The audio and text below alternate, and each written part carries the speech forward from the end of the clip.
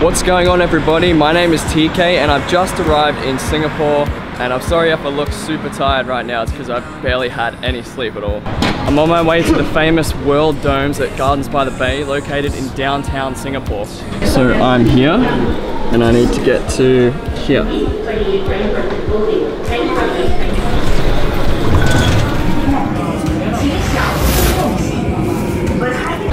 Okay, so I've just made it to the famous domes at Gardens by the Bay and you've got two choices. There are two domes. One is the Flower Dome and the other one is the Cloud Forest. If you want to go to one dome in...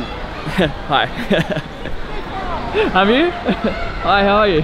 forgot what I was going to say now. Um, so if you only want to go to one dome, it's going to cost you $16. But if you do both in one day, you can get $4 off and it'll cost you $28. So I'm going to go inside the Flower Dome first and see how it is.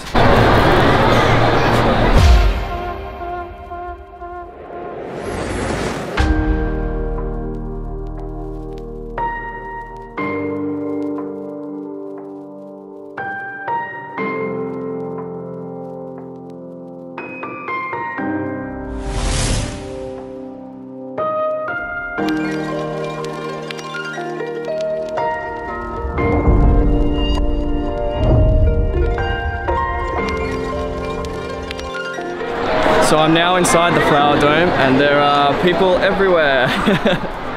and there are photographers everywhere as well doing their thing with this cool Japanese monument right there with the blossoms. Okay, this is pretty cool. I'm gonna see what else there is.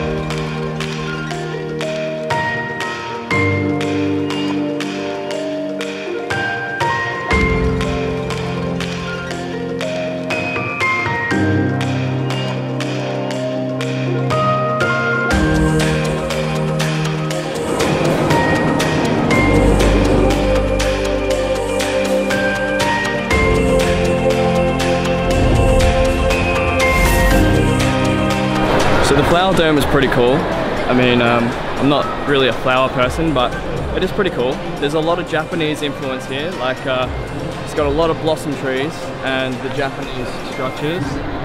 It's cool, I like Japanese stuff, so that's a win for me. Okay, so I've just finished up at the Flower Dome. Now I'm heading over to the Cloud Forest, which is just there. This is my favorite one. This is so sick.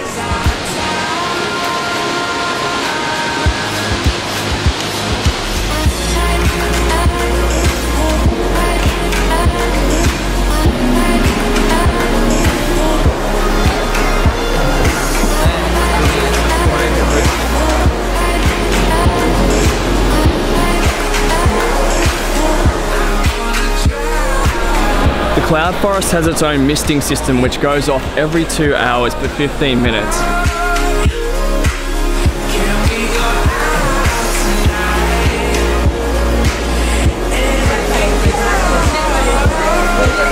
I've just made it to the top of the cloud forest and at the top there are, there's this cool little lake here and a lot of the plants surrounding it are made by Legos which I think is really awesome and whoever's done it has done a really good job, they look sick.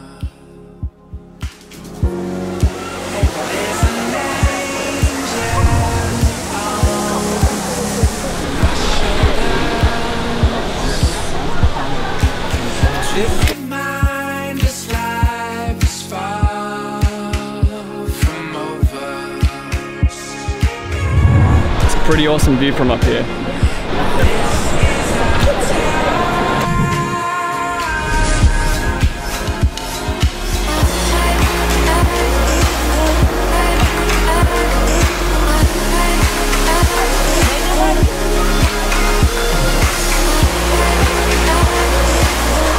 So inside the dome, inside the Cloud Forest Dome, there are six different levels with really cool things on each level. They all teach you something different about the world we live in and actually where the world's heading, which is really cool. There's so much information inside these levels.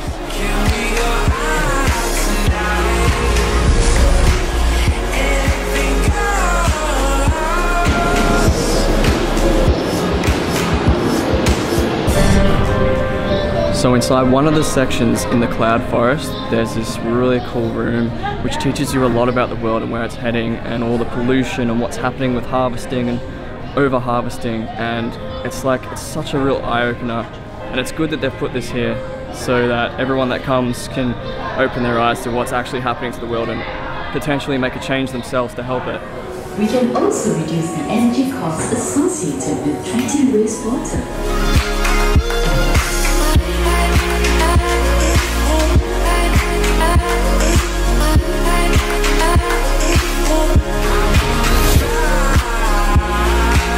And those are the famous domes of Singapore. Oh. Almost fell in the bushes. Thanks for watching everyone. I hope you enjoyed Singapore's domes. And if you're thinking about coming here, definitely check them out. It's one of the main things to do. If you like learning about different locations around the world or you just like my videos in general, please subscribe and I'll see you in the next video.